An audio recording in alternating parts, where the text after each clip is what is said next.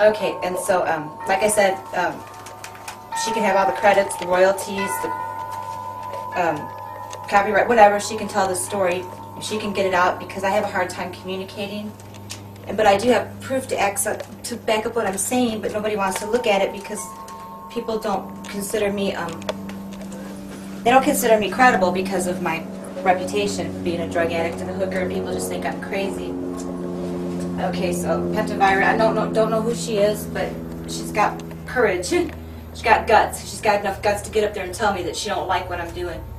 You know, and uh, okay, this is my passport here. See, look, do do do passport, and you will see um, a few days after uh, Charles and Camilla were married. I went to go to Great Britain, right here, April 14th, 2005, and then they sent me back. They put a black X on my passport. I kissed it with my lipstick, by the way. Black X. Um, what does this one say? April. Oh, they, they marked this one when I came back because I couldn't get the plane back because there was no planes going back, so I had to stay there a few days anyway. But they, still, they said I was not a genuine visitor, and they put a black X on my passport saying um, I'm not allowed in her country, and I'm not allowed in any other country in the world either. So I'm globally blackballed. Uh, what was I saying about? Um, okay, so the ritual, uh, July 23rd is when um, Ceres lines up with the uh, the sun and the earth and the pyramids. You know, the pyramids. It lines up perfect. You heard of the mystery of Ceres, the supreme co- the supreme mother council of the world in Washington D.C. is called um, the mystery of Ceres too, and that's a big part of it. It's connected with Draconian and uh, reptilian, the, the Illuminati. Uh, anyways, so um, there's a two-week retreat, of course, but it really starts getting active in there around the 17th, the 16th, or the 17th. People start coming in in their limos and their cars, driving through the gate. Um, there's also a landing strip inside, so like the Queen and presidents and stuff like that. And Arnold Schwarzenegger is a big member too of Boho. They fly in from the inside; they don't come in through the gate, but a lot of people do. So I'm going to be outside the gate, especially on the 21st, the 22nd, and the 23rd of July. I'm going to write a letter or some, something. I'm going to write to them telling everybody. But Queen Elizabeth is going to be in there too. And I'm, as the people go in the gate, I'm going to be like waving and smiling at them and giving them all my letter. And everybody that goes to Bohemian Grove is Sangarian. Uh, the global elites are all Sangarian. they make up 3% of the Earth's population. They're fourth dimensional, fourth dimension reptilian beings.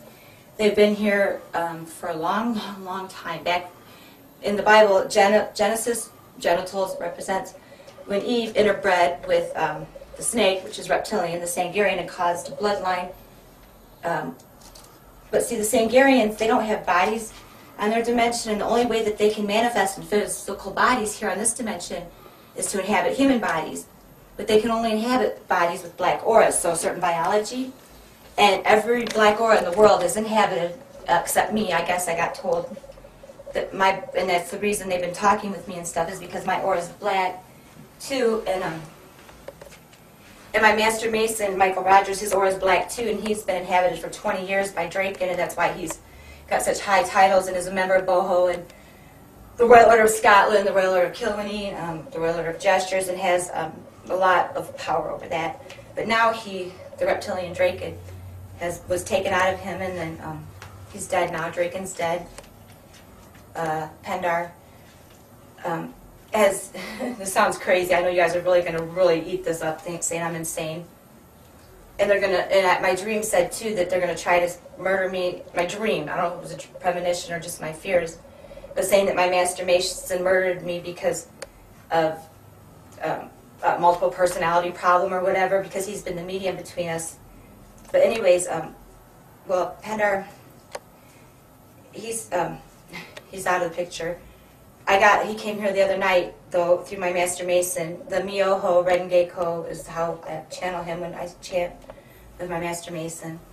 And when it when it comes in, he starts it's real dramatic. His eyes start going back. He's like, you know, and his face and everything it starts changing. And he goes, he goes like that. You know, he calls me Evita.